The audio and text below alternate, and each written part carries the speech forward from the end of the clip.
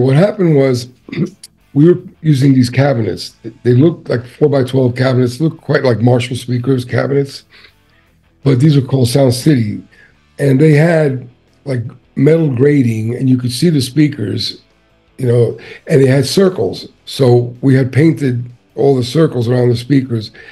This might be able to find an old picture of that set somewhere, but we used that. We put Celestion speakers. We kind of customized those speakers and, and used the Marshall heads, and um, they were circles. And our logo has a bullseye behind the. If you look at the logo, it's kind of like a, a bullseye with the logo inside. So I just said to uh, Charvel, they were started making that company. It was a new company. They started making all these graphic Stratocaster style guitars. Um, so I told them to make me a pink and black one, pink and black circles. I didn't specify bullseye. And when I got the guitar, I said, "Oh, okay, this is quite cool." I never expected it to become this well-known thing, like you know. I was kind of shocked that it became a, a, bit iconic. I'm not trying to brag about it. I'm just like, it surprised me too. That, and I mean, I've even seen uh, ads for the band that we're playing, and they'll have a picture of my guitar, you know, with the, a picture of the band in front of it. I'm like, and I've seen that quite a bit. Um, it does spark a bit of jealousy at times with other members, but I didn't. I wasn't out to do that. I wasn't trying to like showboat or like, hey, look at me.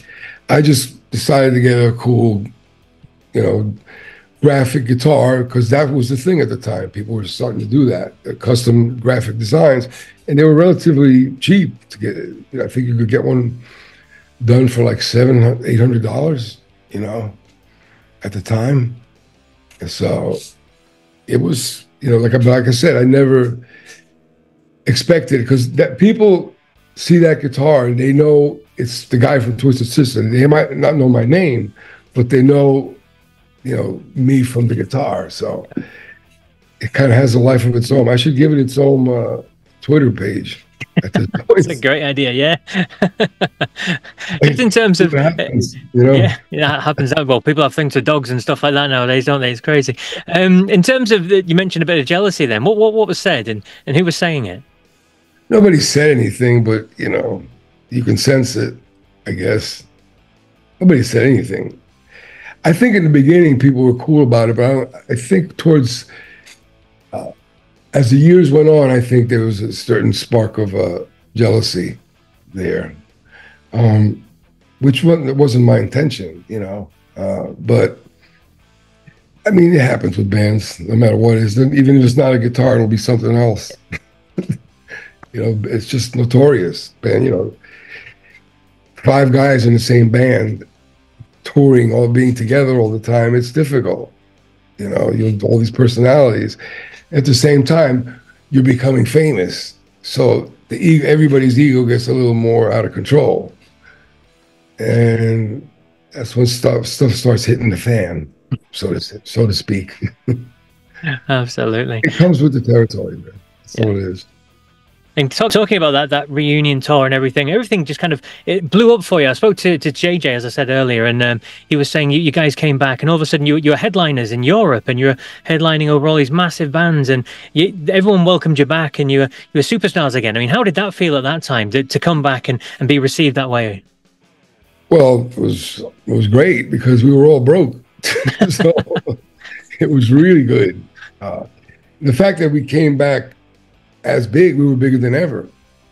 You know, and I think a part of that was that we we just like a lot of other bands broke up, and there was three versions of the band, and only one guy with the four other guys. You know, but we always we we didn't do that, and we came back with all the original members, all the guys that were in the videos. So I think that had a lot to do with it. It was the original band.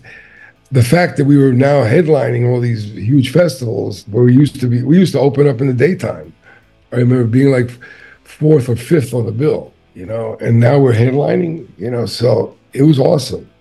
I felt like it was well deserved too. It was about time. I thought that finally we got that recognition. It took a long time, you know, so it was definitely uh, awesome. And it's still like, you know, even I mean, we stopped touring in 2016, but you know, we left like on top. You know, we we could have kept working, but we just said that's it. You know, and after 40 years, so we said, and now I think because a lot of bands are re- retiring, bands like Kiss and stuff aren't going to be touring anymore.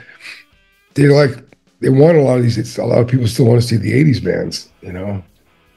So I think offers are coming in, but I don't know what's going to happen with that because. I mean, I guess there's a number. If they reach the right number, people will get back together no matter what, right? I mean,